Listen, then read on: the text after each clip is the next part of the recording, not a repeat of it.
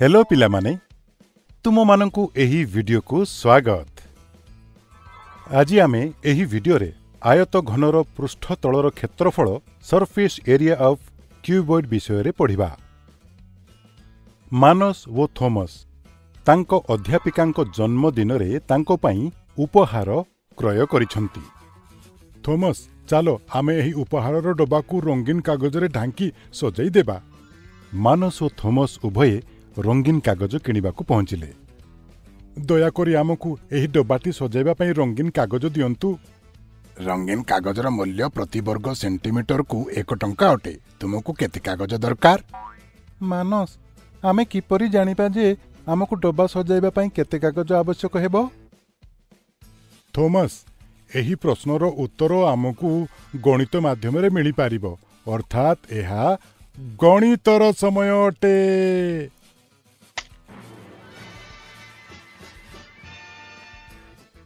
Thomas ତୁମେ କହିପାରିବ କି ଏହି ଡବା କେଉଁ ଆକାରର ଅଟେ ଏହି ଡବା ଆୟତ ଘନ କ୍ୟୁବଏଡ୍ ଅଟେ ବିଲକୁଲ ଠିକ୍ ମନେକର ଏହି ଡବାର ଦୈର୍ଘ୍ୟ ଏଲ୍ ପ୍ରସ୍ଥ ବି ଏବଂ ଉଚ୍ଚତା ଏଚ୍ ଅଟେ ଯଦି ଆମେ ଏହି ଆୟତ ଘନାକାର ଡବାକୁ କାଟି ଓ ଖୋଲି ସମତଳ କରିଦେବା ତେବେ ଏହାର ରୂପ କିଛି ଏହିପରି ଦେଖାଯିବ ଚାଲ ଆମେ ପ୍ରଥମେ ଏହା ଜାଣିବା ଯେ ପୃଷ୍ଠ ଏକକୁ ଢାଙ୍କିବା ପାଇଁ ଆମକୁ କେତେ କାଗଜର ଆବଶ୍ୟକ ପଡ଼ିବ ଯେକୌଣସି ପୃଷ୍ଠକୁ ଢାଙ୍କିବା ପାଇଁ ଲାଗିବାକୁ ଥିବା କାଗଜର ମାପ ତାହାର କ୍ଷେତ୍ରଫଳ ସହ ସମାନ ହେବ ପୃଷ୍ଠ ଏକ ତ ଆୟତକାର ଅଟେ ଯାହାର ଦୈର୍ଘ୍ୟ ଏଲ୍ ଓ ପ୍ରସ୍ଥ ଏଚ୍ ଅଟେ ଅର୍ଥାତ୍ ଏହାର କ୍ଷେତ୍ରଫଳ ଦୈର୍ଘ୍ୟ ଗୁଣନ ପ୍ରସ୍ଥ ବା ଏଲ୍ ଗୁଣନ ଏଚ୍ ହେବ ଏବଂ ଦେଖ ଥୋମସ ତୁମେ ଜାଣିଛ ଯେ ଆୟତ ଘନର ପୃଷ୍ଠ ଏକ ଓ ପୃଷ୍ଠ ଚାରି ସର୍ବସମ ଅଟେ? ଅର୍ଥାତ୍ ପୃଷ୍ଠ ଚାରିକୁ ଢାଙ୍କିବା ପାଇଁ ମଧ୍ୟ ଆମକୁ ଏଲ୍ ଗୁଣନ ଏଚ୍ କାଗଜର ଆବଶ୍ୟକତା ହେବ। ଆରେ ବା ମାନସ ଆମେ ତ ଦୁଇଟି ପୃଷ୍ଠକୁ ଢାଙ୍କିବା ପାଇଁ ଆବଶ୍ୟକୀୟ କାଗଜର କ୍ଷେତ୍ରଫଳ ଜାଣିନେଲେ। ବର୍ତ୍ତମାନ ଚାଲ ଆମେ ପୃଷ୍ଠ ତିନିକୁ ଢାଙ୍କିବା ପାଇଁ ଆବଶ୍ୟକୀୟ କାଗଜ ମଧ୍ୟ କିଣିନେବା। ଏହି ପୃଷ୍ଠଟି ମଧ୍ୟ ଆୟତକାରର ଅଟେ। ଏବଂ ଏହାର ଦୈର୍ଘ୍ୟ ବି ଓ ପ୍ରସ୍ଥ ଏଚ୍ ଅଟେ। ତେଣୁ ଏହାକୁ ଢାଙ୍କିବା ପାଇଁ ଆମକୁ ବି ଗୁଣନ ଏଚ୍ କାଗଜର ଆବଶ୍ୟକତା ହେବ। ଏବଂ ଦେଖ ପୃଷ୍ଠ ତିନି ଓ ପୃଷ୍ଠ ପାଞ୍ଚ ମଧ୍ୟ ସର୍ବସମ ଅଟେ। ଅର୍ଥାତ୍ ଆମକୁ ପୃଷ୍ଠ ପାଞ୍ଚକୁ ଢାଙ୍କିବା ପାଇଁ ବି ଗୁଣନ ଏଚ୍ କାଗଜର ଆବଶ୍ୟକତା ହେବ। ଥମସ ବର୍ତ୍ତମାନ ଏହି ଦୁଇଟି ବାକି ଥିବା ପୃଷ୍ଠ ମଧ୍ୟ ସର୍ବସମ ଅଟେ। ଏବଂ ଏଗୁଡ଼ିକୁ ଢାଙ୍କିବା ପାଇଁ ଆମକୁ ସେଗୁଡ଼ିକର କ୍ଷେତ୍ରଫଳ ଏଲ୍ ଗୁଣନ ବି ମାପର କାଗଜର ଆବଶ୍ୟକତା ହେବ। ଆଚ୍ଛା ତେବେ ଆମକୁ ଏହି ଆୟତ ଘନାକାର ଡବାକୁ ଢାଙ୍କିବା ପାଇଁ ଆବଶ୍ୟକୀୟ କାଗଜ ବିଷୟରେ ଜାଣିବାକୁ କେବଳ ଏହି ଛଅଟି ପୃଷ୍ଠର କ୍ଷେତ୍ରଫଳକୁ ଯୋଗ କରିବାକୁ ହେବ। ଏବଂ ଥୋମସ କ'ଣ ତୁମେ ଜାଣିଛ କି ଯେ କୌଣସି ତ୍ରିମାତ୍ରିକ ଆକାରର ସବୁ ପୃଷ୍ଠଗୁଡ଼ିକର କ୍ଷେତ୍ରଫଳର ସମିଷ୍ଟିକୁ ତାହାର ମୋଟ ପୃଷ୍ଠତଳର କ୍ଷେତ୍ରଫଳ ଟୋଟାଲ ସର୍ଫେସ୍ ଏରିଆ କୁହାଯାଏ। ମାନସ ଆମକୁ କ'ଣ ଯେକୌଣସି ଆୟତ ଘନର ପୃଷ୍ଠତଳର କ୍ଷେତ୍ରଫଳ ଖୋଜିବା ପାଇଁ ପ୍ରତ୍ୟେକ ଥର ଏତେ ଲମ୍ବା ପଦ୍ଧତିର ବ୍ୟବହାର କରିବାକୁ ପଡ଼ିବ? ଏହା ଭାବି ମୋ ମୁଣ୍ଡ ବୁଲାଉଛି। ଥୋମସ ଚାଲ ଆମେ ଏହାକୁ ସରଳ କରି ଏହିପରି ଭାବେ ଆୟତ ଘନର ମୋଟ ପାର୍ଶ୍ୱ ପୃଷ୍ଠ ତଳର କ୍ଷେତ୍ରଫଳର ଗୋଟିଏ ସୂତ୍ର ବାହାର କରିଦେବା। କିନ୍ତୁ ଥୋମସ ତୁମେ ଆଉ ଗୋଟିଏ ମଜାଳିଆ କଥା ଜାଣିଛ କି?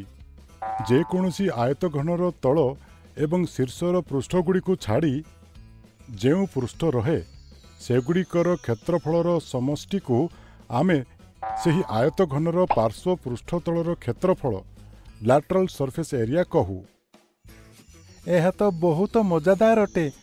ଅର୍ଥାତ୍ ଏହି ଦୈର୍ଘ୍ୟ ଏଲ୍ ପ୍ରସ୍ଥ ବି ଓ ଉଚ୍ଚତା ଏଚ୍ର ଆୟତ ଘନର ପାର୍ଶ୍ୱ ପୃଷ୍ଠତଳର କ୍ଷେତ୍ରଫଳ ଏହି ଚାରୋଟି ଆୟତାକାର ପୃଷ୍ଠର କ୍ଷେତ୍ରଫଳର ସମଷ୍ଟି ସହ ସମାନ ହେବ। କିନ୍ତୁ ଏଥିରେ ମଧ୍ୟ ସର୍ବସମ ପୃଷ୍ଠଗୁଡ଼ିକର ଦୁଇଟି ଯୋଡ଼ି ଅଛି ତେଣୁ ଆମେ ଏହାକୁ ଏହିପରି ଭାବେ ମଧ୍ୟ ଲେଖିପାରିବା। ମାନସ ଆମକୁ ଆୟତ ଘନର ପାର୍ଶ୍ୱ ପୃଷ୍ଠ ତଳର କ୍ଷେତ୍ରଫଳ ସୂତ୍ର ମଧ୍ୟ ମିଳିଗଲା। ମୁଁ ଏହି ସୂତ୍ରଗୁଡ଼ିକରେ ଆମ ଡବାର ଦୈର୍ଘ୍ୟ ପ୍ରସ୍ଥ ଓ ଉଚ୍ଚତା ଯଥାକ୍ରମେ ଛଅ ତିନି ଓ ବାର ସେଣ୍ଟିମିଟର ଲେଖିଦେଉଛି। ଦେଖ ଥୋମାସ୍ ଆମ ଆୟତ ଘନାକାର ଡବାର ମୋଟ ପୃଷ୍ଠତଳର କ୍ଷେତ୍ରଫଳ ଟୋଟାଲ ସର୍ଫେସ୍ ଏରିଆ ଦୁଇଶହ ବାବନ ବର୍ଗ ସେଣ୍ଟିମିଟର ଅଟେ ଏବଂ ପାର୍ଶ୍ୱ ପୃଷ୍ଠର କ୍ଷେତ୍ରଫଳ ଲାଟରାଲ ସର୍ଫେସ୍ ଏରିଆ ଦୁଇଶହ ଷୋହଳ ବର୍ଗ ସେଣ୍ଟିମିଟର ଅଟେ। ଆମକୁ ଆମର ଆୟତ ଘନାକାର ଡବାକୁ ସମ୍ପୂର୍ଣ୍ଣ ରୂପେ ଢାଙ୍କିବା ପାଇଁ ଦୁଇଶହ ବାବନ ବର୍ଗ ସେଣ୍ଟିମିଟର କାଗଜ ଲାଗିବ। ମାନସ ଆମେ ଦୁଇଟି ନୂଆ ସୂତ୍ର ଶିଖିଲେ। ଚାଲ ମୁଁ ଏଗୁଡ଼ିକୁ ଶୀଘ୍ର ମୋର ଗଣିତ ସୂତ୍ର ଖାତାରେ ଲେଖିଦେଉଛି ଚାଲ ବର୍ତ୍ତମାନ ଫେରି ଏହି ଡବାକୁ ସୁନ୍ଦର ରଙ୍ଗୀନ କାଗଜରେ ସଜାଇ ଆମର ଅଧ୍ୟାପିକାଙ୍କୁ ଦେଇଦେବା। ଦୁଇ ସାଙ୍ଗ ମିଶି ସେହି ଉପହାରକୁ ସୁନ୍ଦର ରଙ୍ଗୀନ କାଗଜରେ ସଜାଇ ତାଙ୍କ ଅଧ୍ୟାପିକାଙ୍କୁ ଉପହାର ଭାବରେ ଦେଲେ।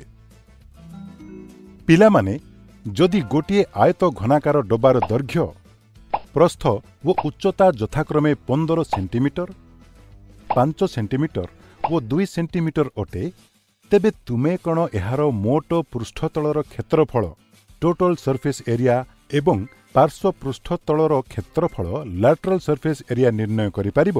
ଆମେ ଏହି ପ୍ରଶ୍ନର ସମାଧାନ ପରବର୍ତ୍ତୀ ଭିଡିଓରେ ଦେଖିବା। ସେ ପର୍ଯ୍ୟନ୍ତ ତୁମେ ତୁମର ସାଙ୍ଗମାନଙ୍କ ସହିତ ମିଶି ଏହାର ସମାଧାନ ଖୋଜିବାକୁ ଚେଷ୍ଟା କର। ଏହି ଭିଡିଓରେ ଆଜି ଆମେ ଆୟତ ଘନର ପୃଷ୍ଠତଳର କ୍ଷେତ୍ରଫଳ ସର୍ଫେସ୍ ଏରିଆ ଅଫ୍ କ୍ୟୁବେଟ୍ ବିଷୟରେ ଜାଣିଲେ। ପରବର୍ତ୍ତୀ ଭିଡିଓରେ ଆମେ ଏହା ଉପରେ ଆଧାରିତ କିଛି ମଜାଳିଆ ଉଦାହରଣ ଦେଖିବା।